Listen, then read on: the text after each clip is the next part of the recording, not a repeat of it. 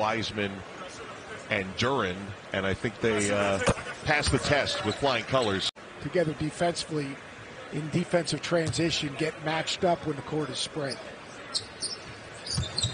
Wiseman and Duren. Moody couldn't have done any better. And came around that left shoulder a little bit too and just fed him in a perfect spot.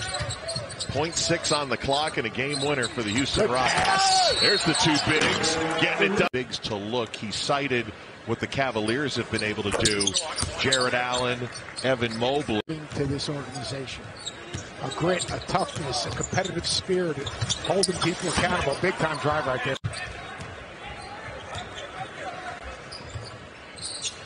Pass. Oh! When you have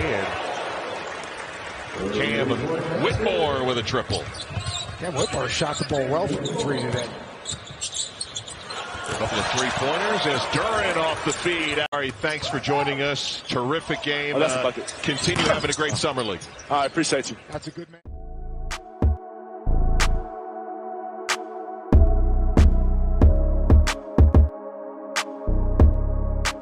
Thanks.